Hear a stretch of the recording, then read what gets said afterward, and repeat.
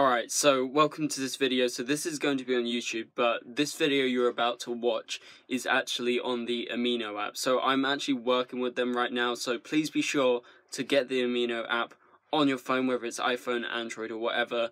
Basically, what you're going to see is me doing my top 5 list for my favourite DC TV heroes, and I've done plenty of lists like this on Amino. So it's a really fun thing to do. You guys can actually send in your face cam footage of you perhaps sending lists in or, you know, anything. You can send it to me. Just um, tag me at the DC TV show. Let me know whether you tell me through Twitter or anything. But yeah, so I'm really excited to show you guys this video. So it's my top 5 DC TV heroes. It's to be all face cam and, whoa, the lights turned off. But yeah, enjoy this video. Hey guys, welcome to this video. So today we're going to be doing my top 5 best DC TV heroes of all time in the Arrowverse.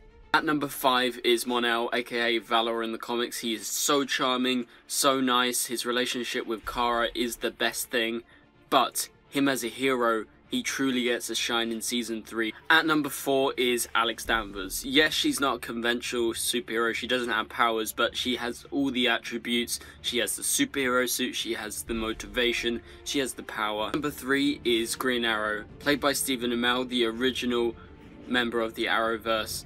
He truly started it all and he truly is one of the best. Number 2 is Supergirl, Melissa Benoist is my favourite actress working today. She is the perfect superhero. She's nice, she's charming, but also she's courageous. Number one is Barry Allen, The Flash, my favourite superhero of all time, played by Grant Gustin, who is perfectly cast as this very smart CSI, but also a skilled superhero. That was my top 5 list of my favourite DC TV heroes. Let me know yours in the comments down below. What do you think of mine? Thank you for watching.